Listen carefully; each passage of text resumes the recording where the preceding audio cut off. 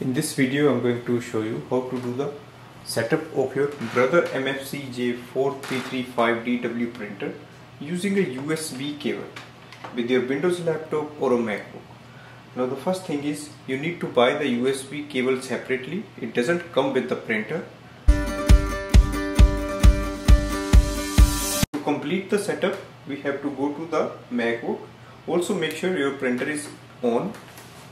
Go to the web browser Type in brother MFCJ 4335DW driver. Go to the brother website.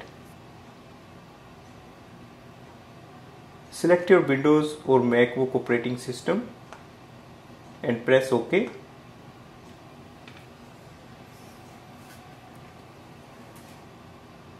Select the first option that is full software download so that is the full software package. Click on it. On the next page go down and agree to the download. Open this file. Start here. So double click on this file. Open. Agree with the terms and conditions on this screen you have to select the second option that is the local connection USB click next. So one end of the USB goes to your laptop or MacBook. To make the USB connection you have to lift this top section. And you will see at at this edge you have to make sure the wire goes like this inside and you have to install it here. So the wire goes here. So it should be like this so that it doesn't stuck anywhere. Now press it down. Click on the next. Select brother MFC J4335DW printer and click next you need to download the brother iPrint and scan app to use the printer. Click next.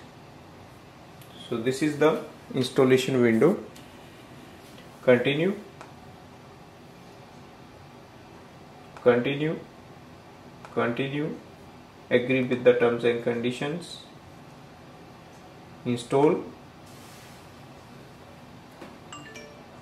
Installation is successful close it and move the file to the win close this window. Close all the windows.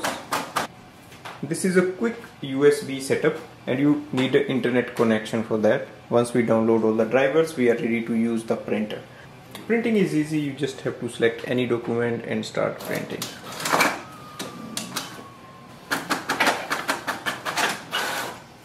Next I'm going to show you how to do the scanning so first we have to place a page on the top scanner.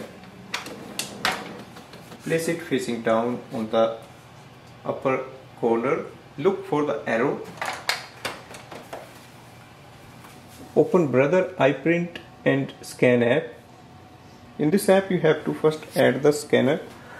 If you don't see your printer here click on the select your machine. Select it and press ok. So it will add the machine for you. And this is a USB so you just have to make sure you select the USB on the top. Now click on the scan icon. Select if you want to scan a document photo also DPI and once you are ready click on the scan icon.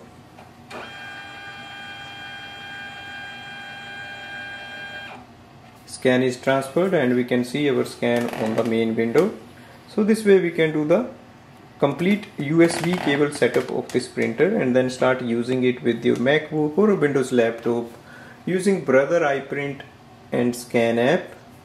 Thanks for watching.